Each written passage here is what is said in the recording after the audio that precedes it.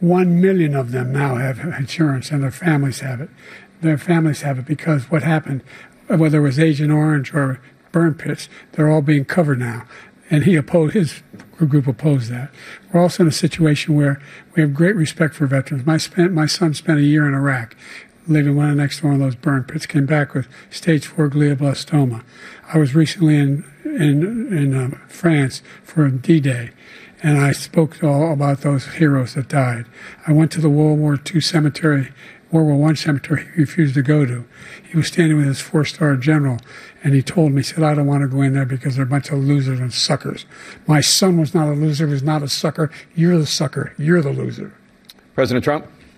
Uh, first of all, that was a made up quote suckers and losers. They made it up. It was in a third rate magazine that's failing, like many of these magazines.